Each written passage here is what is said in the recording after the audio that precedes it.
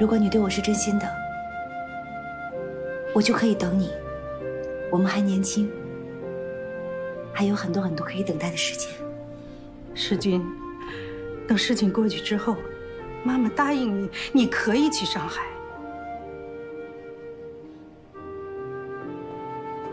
太太，石家老爷来了，老爷传话让您和二少爷亲自去迎接。快走。等我。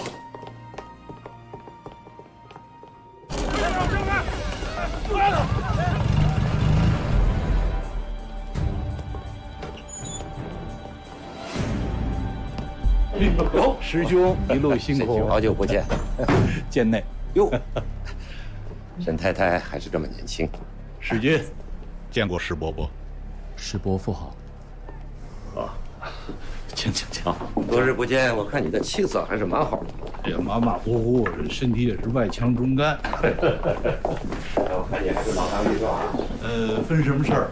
哦，有的事儿还是不行了。是吗？嗯。小童兄啊，若不是为了儿女之事，你我有多少年没有坐到一起喝茶谈天了？你呀，久居上海，也是有名有姓的人物。不提也罢了。哼，在上海滩，有多少人对我虎视眈眈？如果我们两家的婚事能成，即便我将来有了不测。把翠芝交给世君，我也放心。你能有什么不测呀？不过世君和翠芝能够成家，继承这份家业，安安稳稳的过日子，我倒也是这个意思。你说，人世间最亲的莫过于父子了，可是呢，十个儿子里边有九个。都觉得父母对他们好是应当的，那世君宁可在上海给别人打工，都不听从我的安排，所以才叫可怜天下父母心嘛。这些年我苦心经营，把翠芝他们母女藏在南京，不敢有半点差池，谁知却疏远了父女之间的感情。我唯一的女儿，从未与我真正交心。同为父母，你我的失落，并无不同。史君呢，是我看着长大的，为人忠厚，这不会错。话说到这里，我石敬轩未来的女儿和女婿，自然不会偏安一隅，小富即安。你有元泰的资本，我有上海的资源，沈石两家天作之合，可干一番事业的。可是世军这孩子呀，他不像他哥哥那么机敏灵活，再说他也不懂管理呀，我怕这事儿提携照顾义不容辞啊。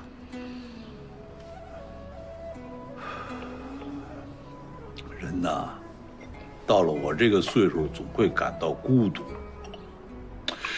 你说这一睁开眼啊，周围全都是依靠你的人。就没有一个能够帮你排忧解难的。我还是想，儿子留在身边。其实男儿留守家中，只顾尽孝，不问前程。沈兄，你一味的推辞，这倒值何意啊？我已经失去一个儿子了，我不想，我不想再失去第二个。在上海滩，谁都晓得我有数不清的钱，可是我却没有一个儿子。我是把世君当做半个儿子的。将来沈氏两家定下婚事，我会把世君当成自己的儿子一般看待。即便他们成婚，我也没有想让世君入赘的想法。我就是从心里器重他。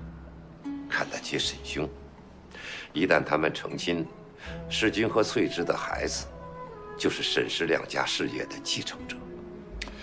老弟啊，小同兄，世君的发展，沈氏两家的合作，我早有想法，名字我都想好了，生意兴隆，国泰民安。要做，我们就要做在上海有影响的大动静，就叫龙泰。要让沈氏两家的事业在他们的手里传承下去，沈兄，意下如何呀？老弟，你既然说到这儿了，沈某全然信任。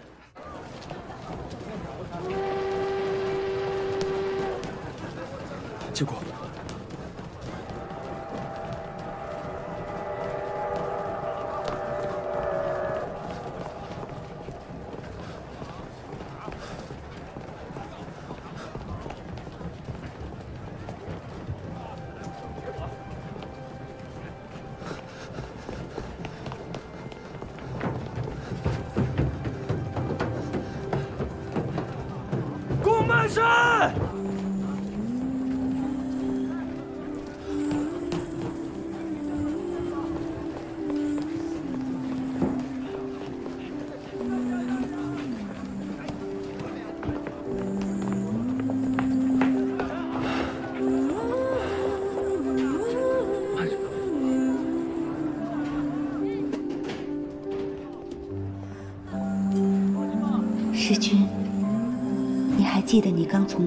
上海，我们第一次见面那天？你说人生若真能只如初见，没有后来的这些纷纷扰扰，该有多好。世君，什么都不用说，我离开不是放弃你，更不是放弃我们的感情，我只是不愿看你夹在中间左右为难。我爱你的心。一如往常，什么都不能让我退缩。世君，我在上海等你。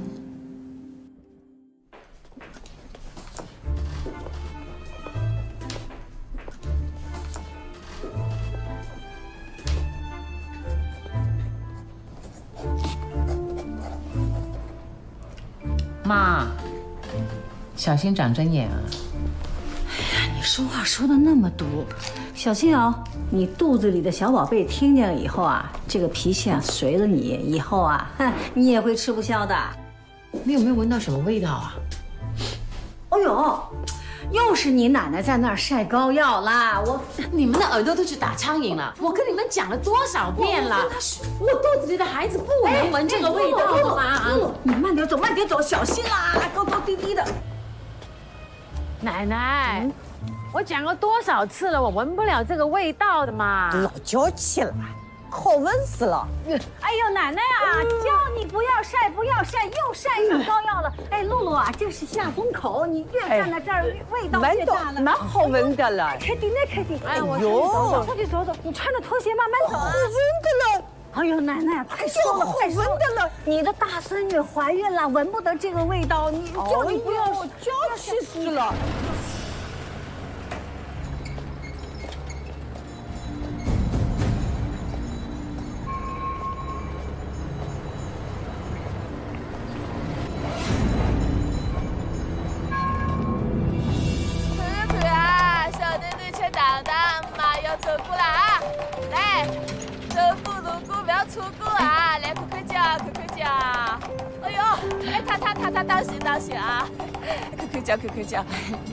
小人还是女小人啦？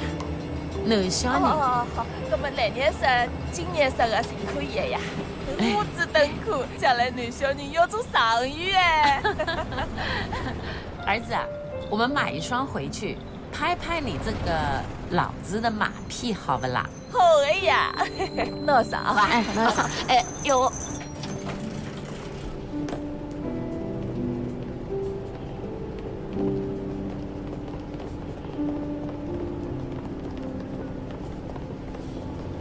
哎，哥们，弄两双了，一双一双，好好好，我帮侬包起来啊。好啊好 啊，谢谢侬，谢谢啊，姐。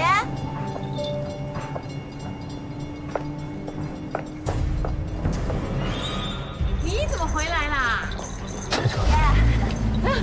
两两个都撞了，还一双鞋子呀！走，开车！怎么样？嗯，好不好？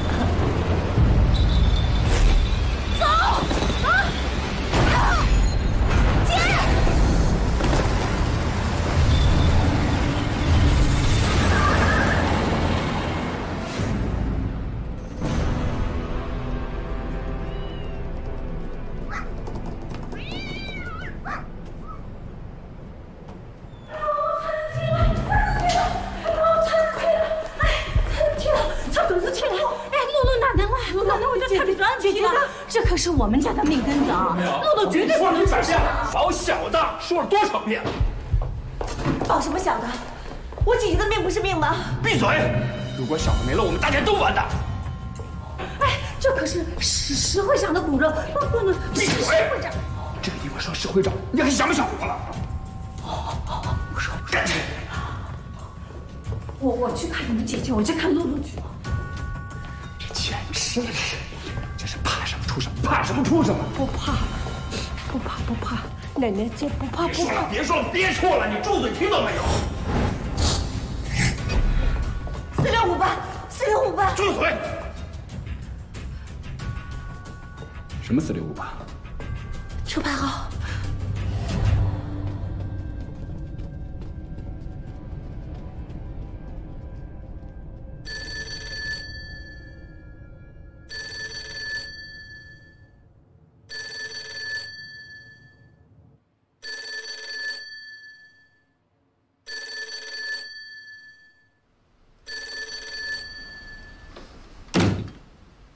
叔，麻烦你帮我买一张明天到上海的火车票。去上海干什么？啊，没关系，我自己买，不为难你。这是要去哪儿啊？上海。为了一个女人，不许去！你逼她走，现在又逼我留下，这就是你们要的结局。世君，别说了。这就是你教出来的好儿子，放虎归山。世君，如果你不在乎顾小姐的一番苦心，你就尽管去。妈，在这个节骨眼上，他知道，只有他先离开，才能解开我们所有人的死结。你难道不懂吗？老爷，石老爷送来了请帖，要老爷太太，还有大少奶奶、二少爷、小少爷去赴家宴。回我的话，应了，我不去。我看谁敢不去！妈，婚是史家退的，君子一言，驷马难追，这事是不会有任何改变的。你就让我走吧，我人在这，我的心早就已经不在了。世君，你从小就任性，我从没拦着你。你就算是不接手家里的事情，我也可以依着你。可是眼下，先去石家，把这事儿了结了，我就让你走。哎呦，我真是老倒霉了！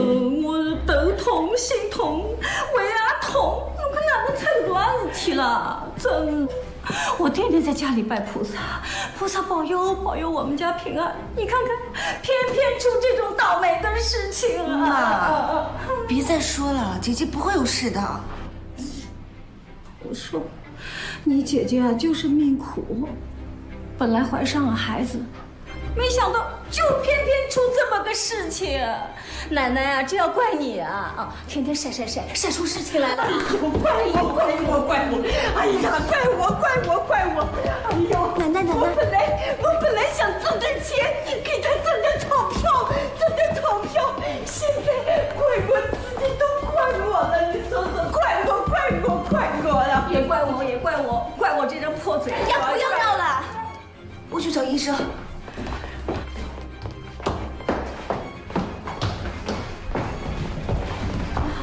医生办公室在哪？这边请。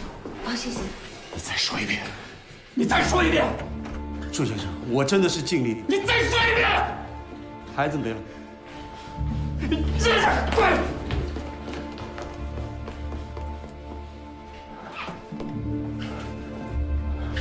孩子没了。我姐姐要紧吗？我姐姐要紧吗？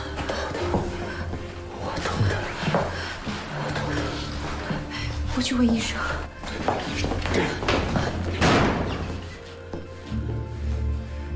你知不知道，我们他妈的命都没了，命都没了，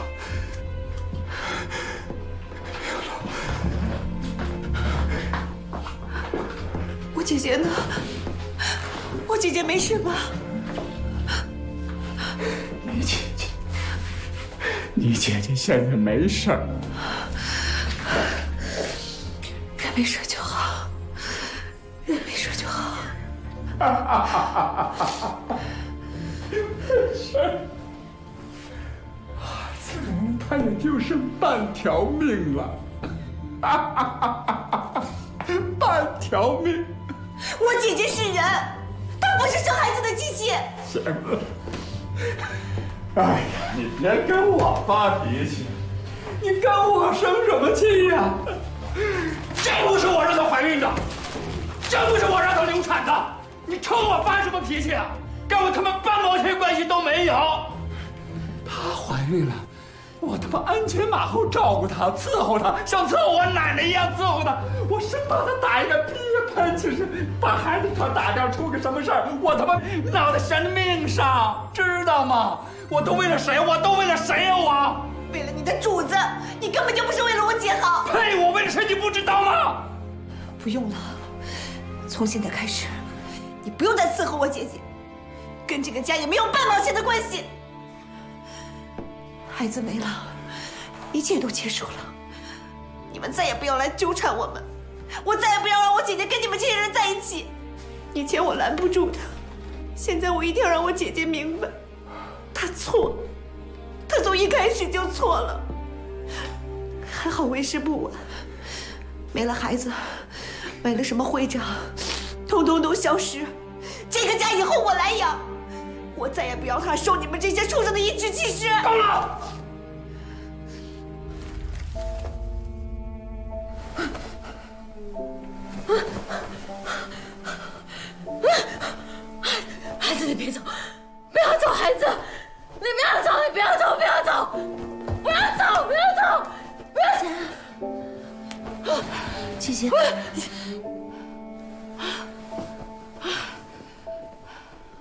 哎，医生呢？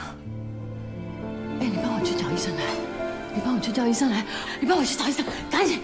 我的孩子没有了，我的孩子不在了。姐姐，医生刚刚出去，他让你好好休息，你不可以太激动的。哎，我的孩子没事吧？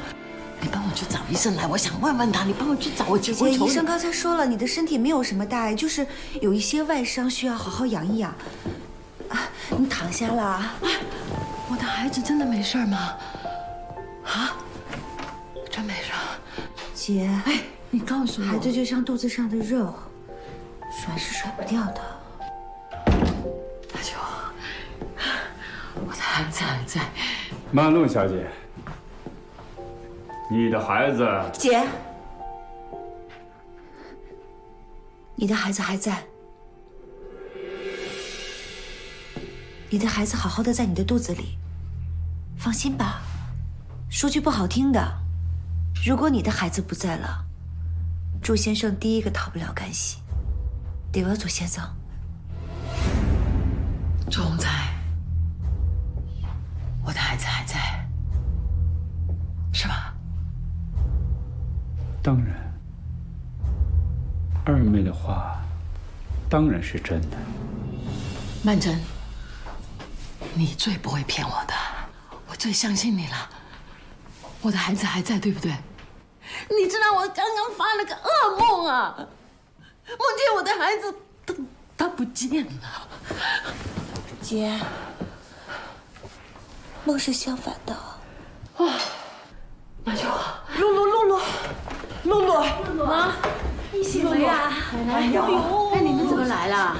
露露，露露，哎呦，不怕不怕，你看看菩萨，菩萨保佑你了。奶奶，我没事儿，阎王老爷他都不敢收我呢。再说曼桢跟我说，我的孩子还在呢。没事没事，哎，你们坐吧，你们坐吧，喝口水。不要多说话了。我没事，你们不要这么大惊小怪。哎，对对对，我真的没事，你们坐吧。不不要不要多说话了，坐大休息。哎，我刚刚做了个梦啊，哇，吓死我了。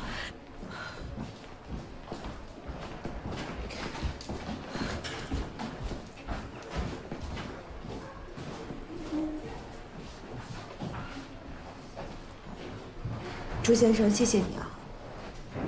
这件事情你准备瞒多久？起码瞒到石会长从南京回来吧。二妹怎么会知道会长去了南京？朱先生，我看到那辆车是冲着姐姐开过去的，我还看到那个……别说了，剩下的事儿交给我来办。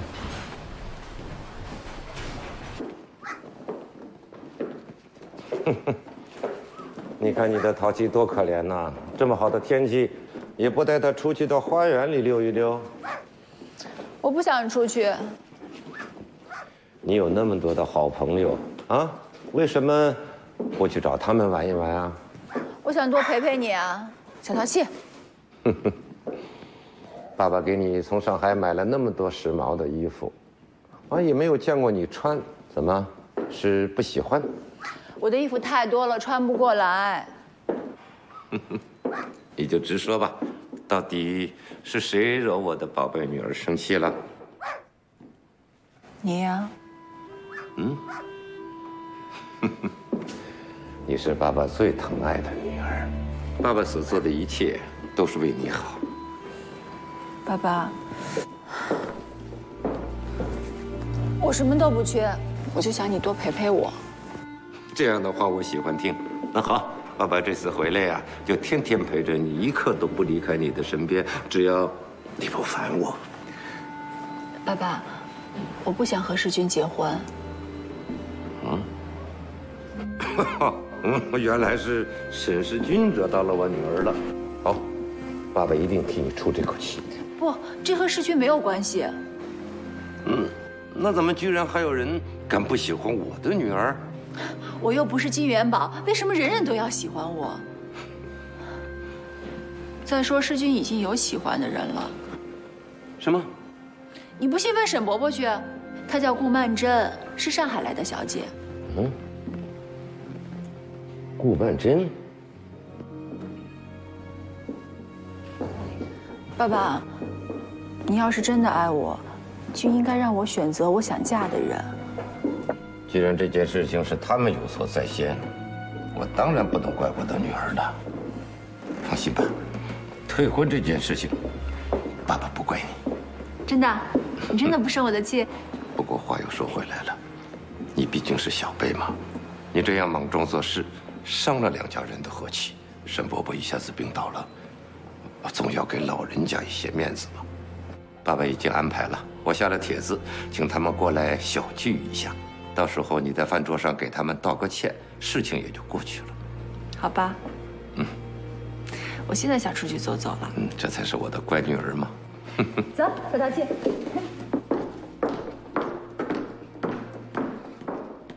阿弥陀佛，阿弥陀佛，求菩萨保佑，保佑阿兰奶奶啊。我得给他煮点儿红枣小米粥，让他清补清补哦。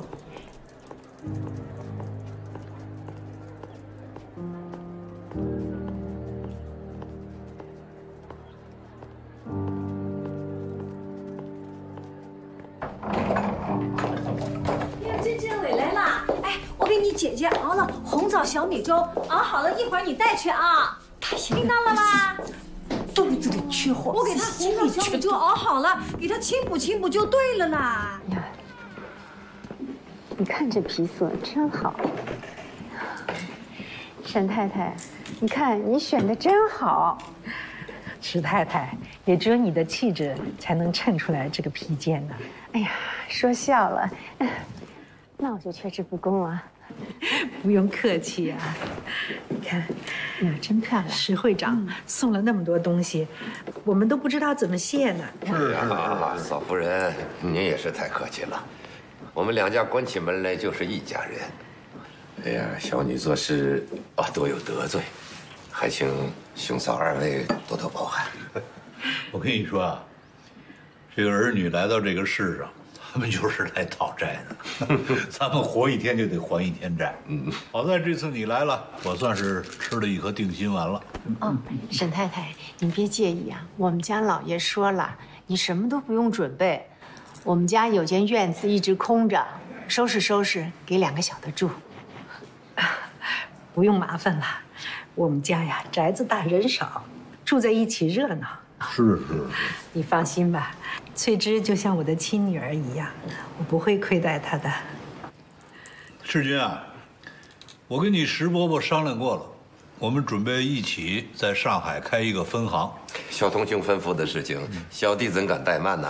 万事俱备，就等着您派人手过去了。听明白没有？这才是最重要的事儿。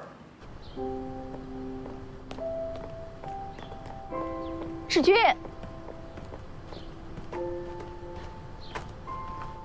沈世军，我有那么惹人厌吗？我没说过，那你干嘛一个大男人总是朝我发脾气？我是在生我的气。生气有用吗？你去跟他们解释清楚啊！解释清楚又有什么用？我们只是他们的傀儡。可我爸爸明明答应了我的。那都是缓兵之计。你相不相信？他们有可能现在正在里面替我们找日子呢。跟我结婚就让你那么难受吗？我的大小姐，现在都已经火烧眉毛了，你还想要玩那种收服天下男人心的把戏啊？我我承认我配不上你，你赢了可以了吧？你从来就没想要了解过我，更没想要了解过我心里是怎么想的。我们的婚姻跟你想什么和我了解什么一点关系也没有，全都是为了那批货店。我知道，我爸爸想要你们家的生意，你爸爸想要我们家的钱。是啊，再也没有什么比我们两联姻更让他们放心了。那我们的幸福呢？哼，你别傻了啊！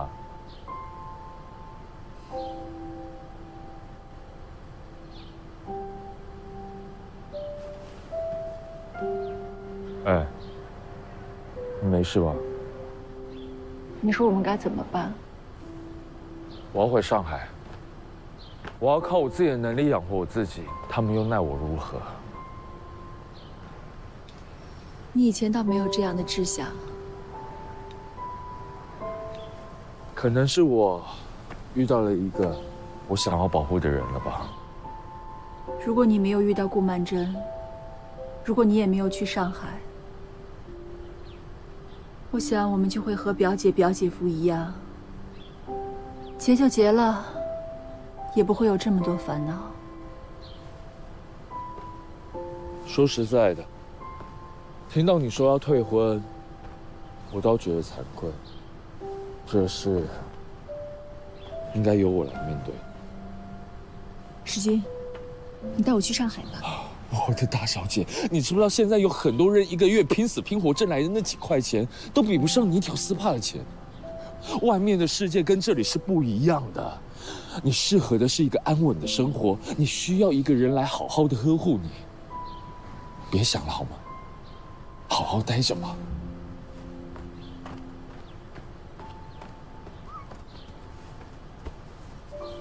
你想不想去看看外面的世界啊？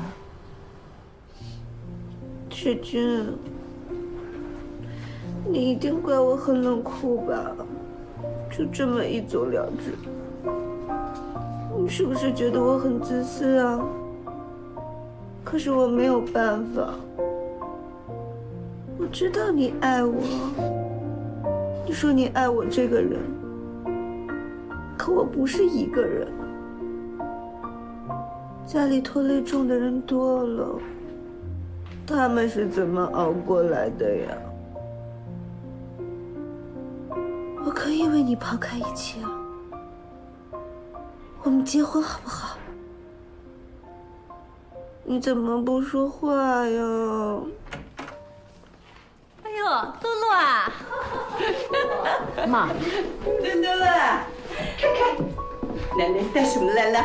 观音，送子观音哎。对呀，来来来，你就放心好了。昨天啊，奶奶给你带观音菩萨，她一定保护你的。来来来，带上了。哦呦，奶奶，你最懂我心意了。昨天啊，奶奶在家里拜了观音娘娘，她给奶奶托了个梦，她就晓得啊。你怀的准是个贵子，奶奶啊，奶奶啊，当年他爸爸在的时候，你怎么不给我做个梦啊？好让我再多生个儿子呀？瞎讲！哎呦，女儿好是好呀，但是要操心一辈子的啦。妈，瞧你，我最讨厌你讲这些话了。让奶奶看看，看看哦。哎呦，让你看，你看，你看，你看，哎呀，准生贵子，真的。哎呀，太好了！哎，妈，我的那个安胎药呢？我妈给你准备好了啦，烫烫烫烫。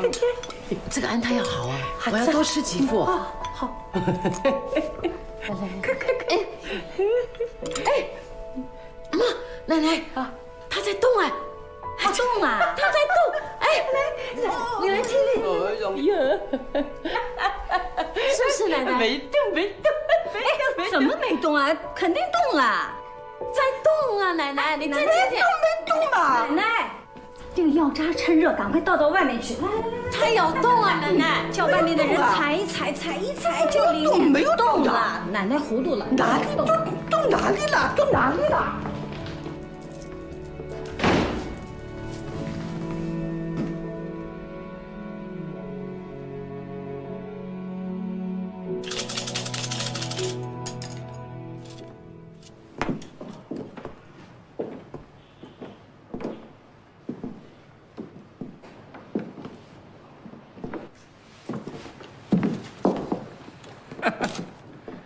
你也信这个啊？下下签儿。哎呀，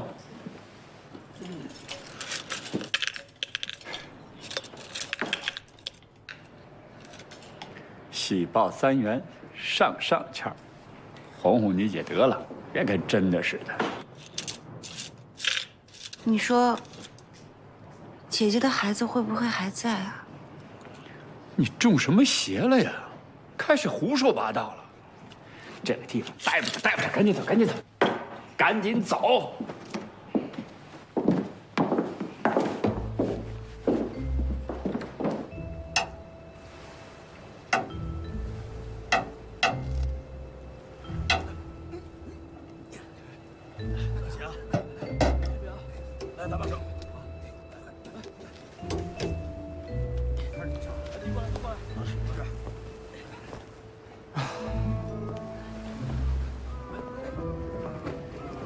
看出来你还会修车呢。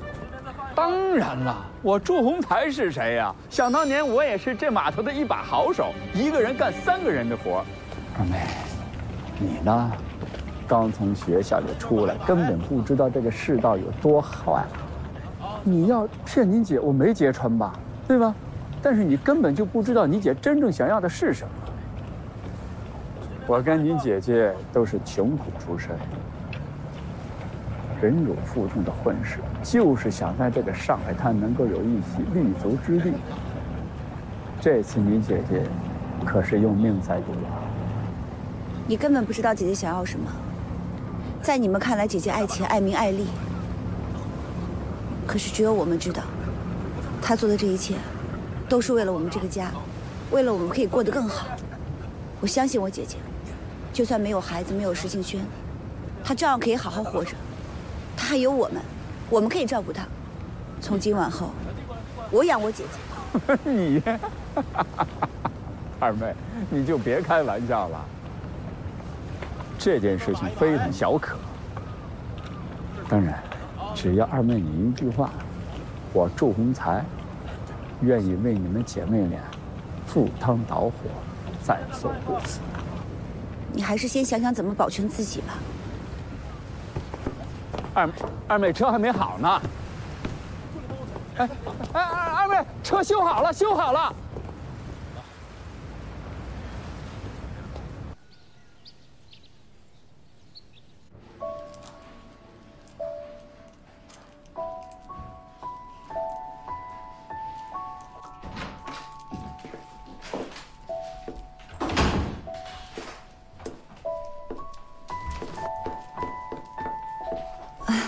姐姐，怎么不在床上躺着呀？这样坐着很累的。我躺了好久了，我起来走动走动，不碍事的。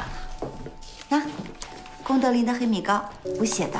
对了，你这回来兵荒马乱的，我都还没问你呢，你怎么突然之间跑回来了？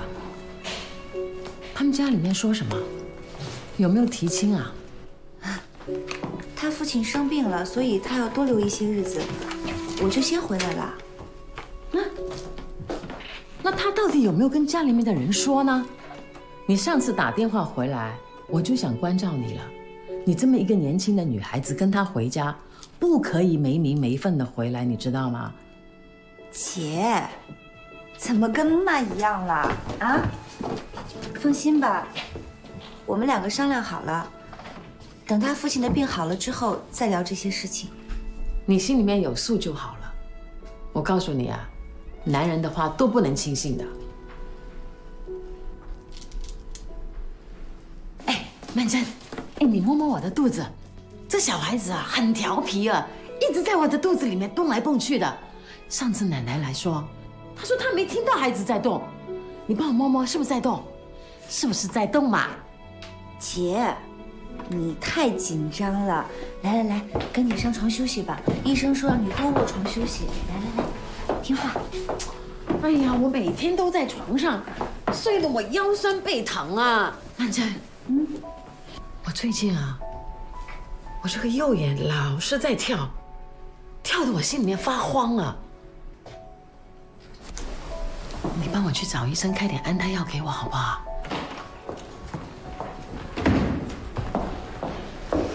二妹，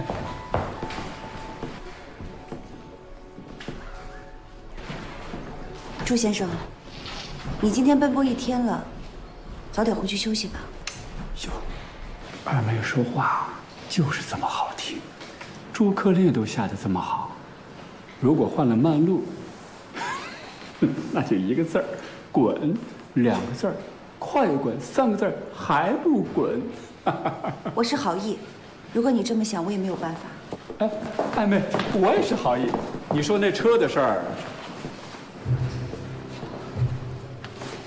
你确定看清楚了吗？什么意思啊？我已经查到那个车的踪迹了。什么人？不确定，现在还在查，但是有一点是可以确定的，这是一起有预谋的车祸。二妹，你记住了，你所看到的都是真相。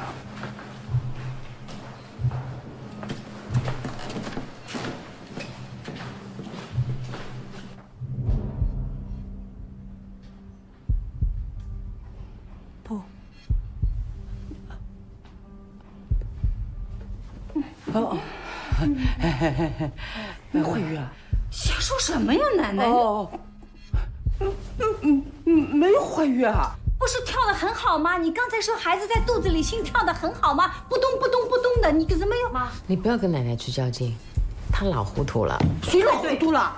你糊涂了，不许对露露喊。哦，那那糊涂了。嗯，做什么？露露啊，露露，你要去干嘛呀？你干什么去啊？快看看，快看看，快！哎，露露，露露，她没事，我没事。露露，露露，哎，妈姐姐，哎，我去找医生。姐姐，我去找。哎，姐姐，我要去找医生，我问问他，他到底把我的孩子怎么了？姐姐，你不要再折腾自己的身体了，好吗？你不要去找医生了，你你的身体很弱，你不知道。姐姐，你就算不为了自己，也得为肚子里的孩子着想。我我要去问姐姐，为了孩子，为了孩子，你也应该控制自己的情绪，不可以太激动。姐姐，身体比什么都重要，知道吗？啊，妈，你就这样惹得姐姐瞎闹了？不是，不是，你们两个不要再惹她了，好吧？快去去去！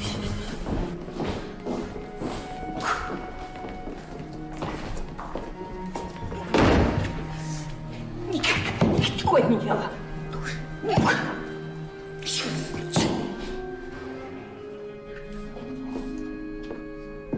我前几天在静安寺帮你求的签，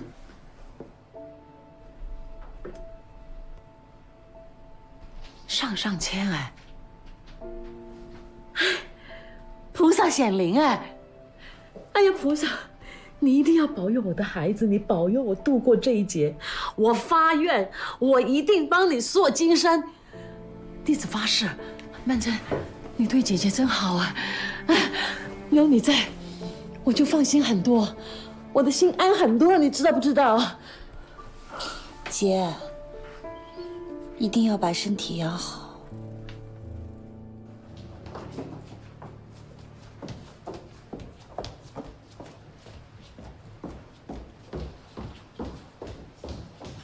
哎，二妹，哎，二妹，这干嘛着急忙慌的？我骗不了他了，我不想再骗他了，我骗不下去了。二妹，现在能帮你的只有我祝红彩。这个谎，是咱俩一起编的。是，我知道撒谎不好，但是你姐是不是一天比一天好？所以，所以这个谎咱俩得一直编下去。二妹，你看看这段时间，把咱俩都给折腾坏了。二妹，这段时间那个沈先生在干嘛呢？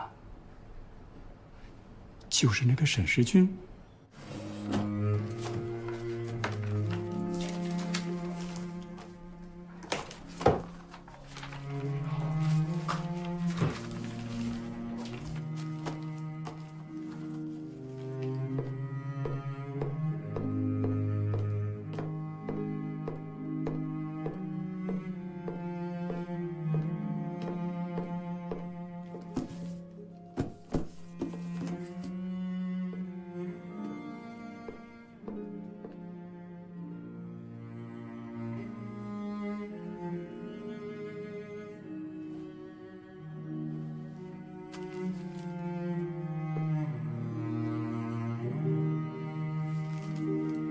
这么多年来，受着姐姐的帮助，却从来没跟她说过感激的话。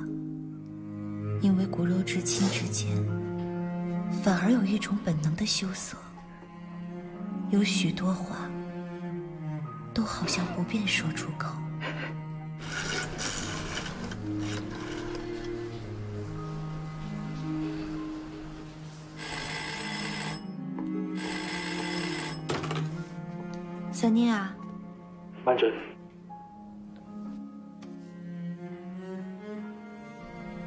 我姐姐出事了，孩子没了。曼桢，你等我，我马上回来。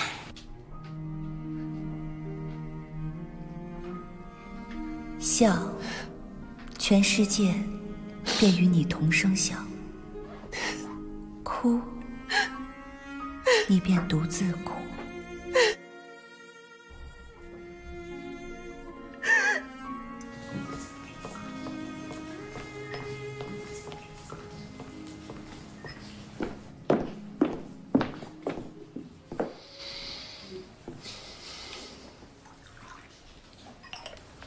要是还说去上海的事儿，免谈。我要睡觉了。爸，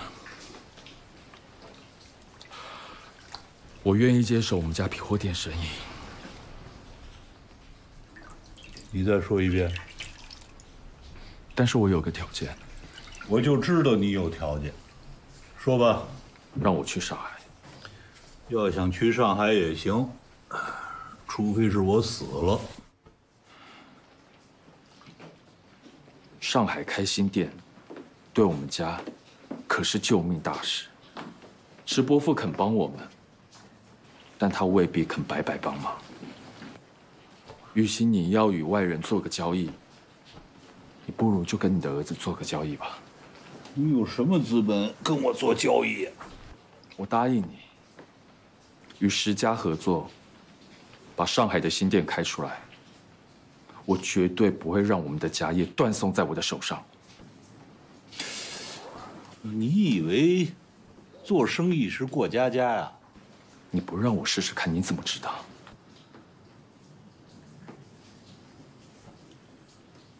石敬轩啊，在上海驰骋这么多年，就凭你那点小九九，他会看不出来啊？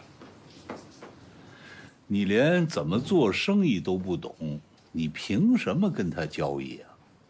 你说的没错，我是不懂得怎么做生意。但就算我真的懂得，他也未必会选我。你真的以为石会长是为了我们家皮货店的生意吗？你错了。他要的是一个能受他掌控、完全听命于他的傀儡女婿。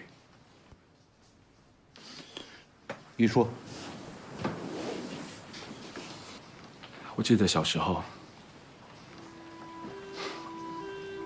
爷爷曾经告诉过我，我们家是做生意的，在以前呐，是会被别人瞧不起的行业。我问他为什么，他说生意人唯利是图，不讲人情。难道石会长不懂得这个道理吗？只要有利可图，他绝对不会罢手。这就是我跟他谈判的筹码。我可以帮他赚钱，但我绝对不可能做他的傀儡，更不可能把爷爷辛辛苦苦传下来的家业拱手交给他。这么说，我就无话可说了，就信你一回。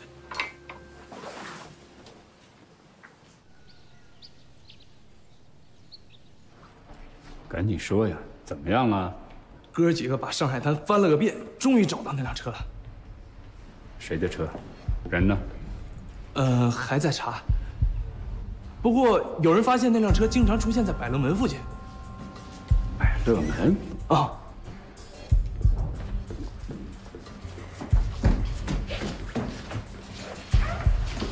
二妹，总是这么巧。二妹，车的事我已经查到了，但是凶手还在追查。如果我逮到这个凶手，我一定扒了他的皮。扒了他的皮有什么用啊？姐姐的孩子也不会失而复得。这件事情瞒不下去了，我得去告诉姐姐。曼桢，你放心，有我祝鸿才在，一切都没。曼桢，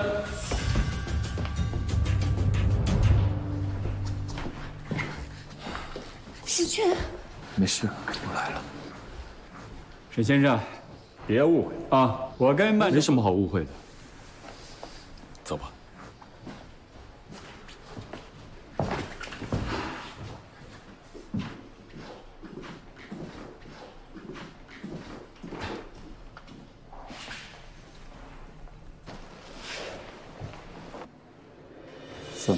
看不上我呢？我真怕自己熬不到你回来。你姐姐怎么样了？大人没事，可是孩子，你别难过了，等姐姐的病养好了，再要孩子就是了。哪有那么容易啊？那那个人呢？毕竟孩子是他的骨肉，他有所安排了吗？以后的事情以后再说吧，我现在管不了这些。世君，眼下姐姐还不知道孩子的事。曼桢，曼桢，你是不是糊涂了？你难道不知道说一个谎是要再说一百个谎来圆的吗？你不了解，这个孩子对于姐姐来说就像生命，她要是知道了，肯定是活不下去的。怪不得，怪不得祝红才刚刚鬼鬼祟祟拉着你，这一定是他的主意，对不对？你还不明白吗？他就是打着你姐姐的名头，故意接近你罢了。你想多了，他只是帮我圆谎。我太了解你了，你这个人就是说不了谎的。我原本也以为自己说不了谎。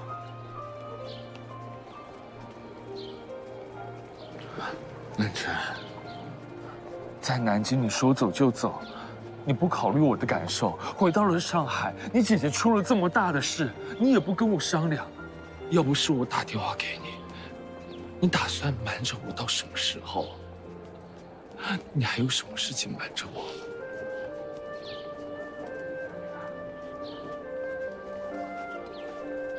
戒指呢？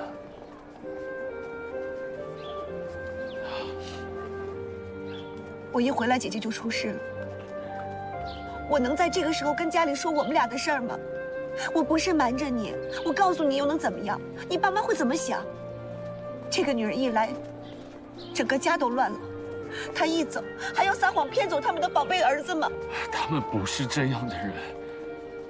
我们俩根本说的就是两件事。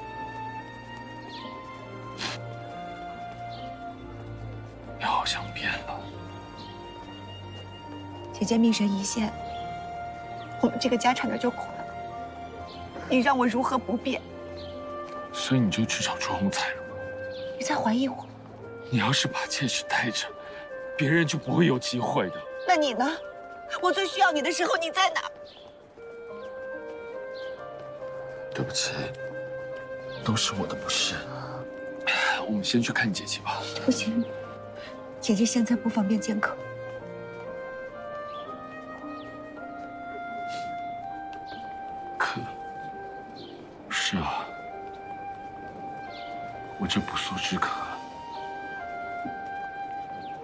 还是识相点好了。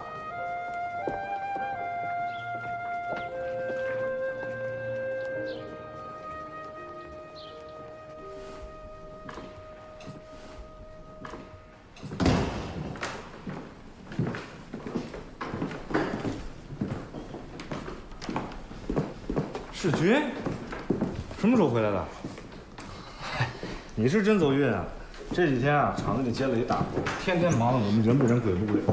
就这么着，主任还天天找我的刺儿。我是真想给他甩一脸子，说老子不干了。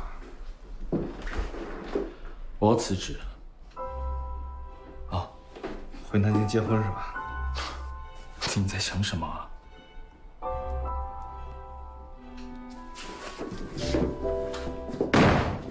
那你就这么跑回来，婚也不结了，这石小姐可怎么办啊？你是她的朋友还是我的朋友？这不是朋友的关系，这种事情到最后受伤的总归是女孩子。我要是真的跟她结婚，我就真的深陷泥足了。我只能一辈子安分守己的做一个阔少奶奶的丈夫。离开以后，实在是发生太多事了。要不然你以为我能轻易的回来吗？为了庆祝你失业，今天我请客。谢谢你啊，连你都开始对我开涮了。啊，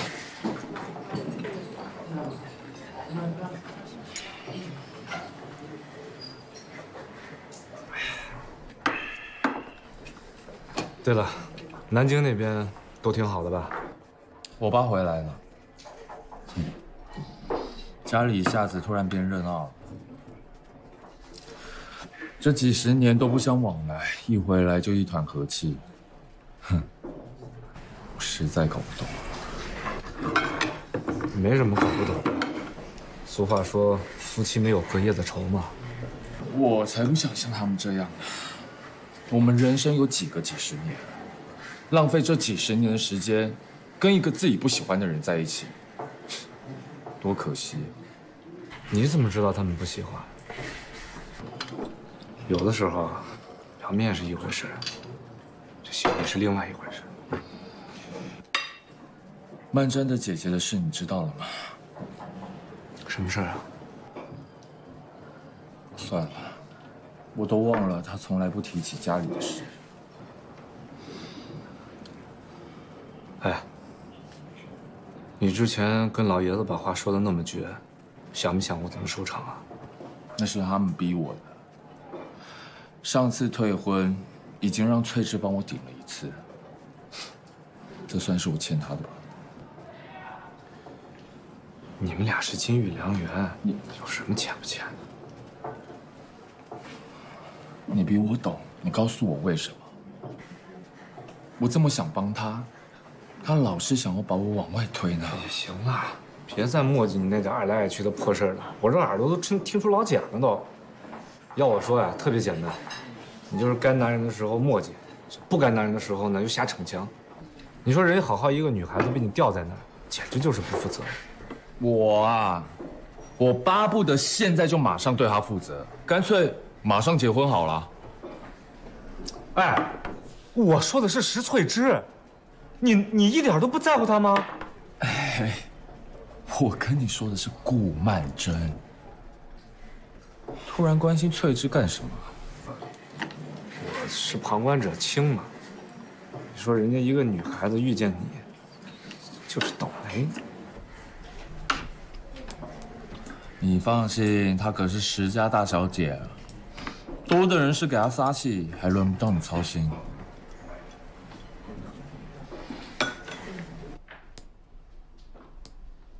你知道吗？阿宝这丫头啊，长大了，开始招惹是非了。妈告诉我，菜场那个卖肉的，儿子刚接管父母的摊子，就跟阿宝眉来眼去嘞。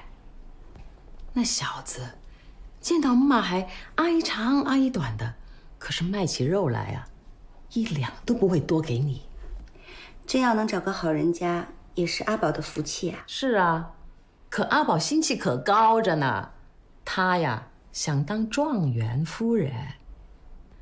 我看他呀是看戏看多了，脑子杠他了。看破不要拆穿嘛。好啊，我不拆穿他，我现在来拆穿你。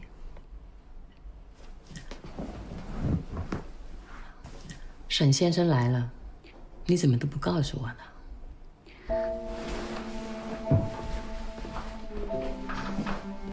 他欺负你了？什么啊？哦，那是你不喜欢别人。你呀，坏就坏在眉眼上，心气太高了。姐，你的手好冰凉呀。这两天呢，我给你煮一些红枣汤，这样的话可以暖身体，手脚就不会冰凉了。怎么？是不是他家里面的人嫌我们小门小户的？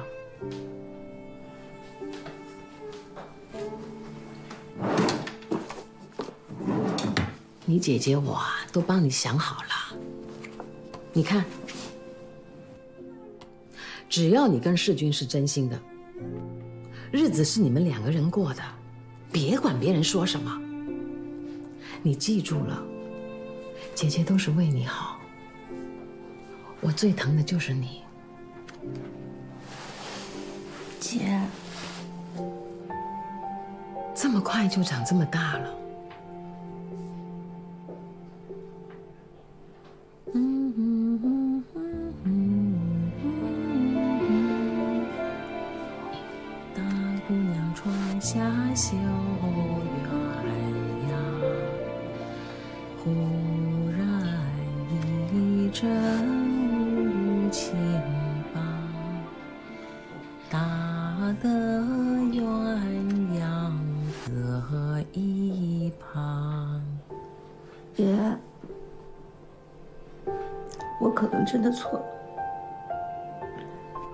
现在什么都不想想，什么都不在乎，我只要姐姐你好好的，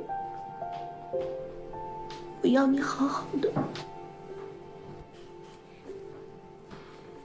你要是真的不在乎，你就不会这么痛苦了。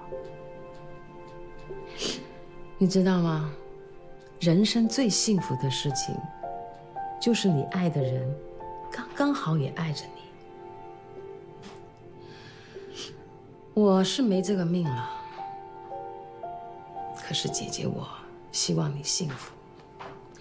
你要幸福，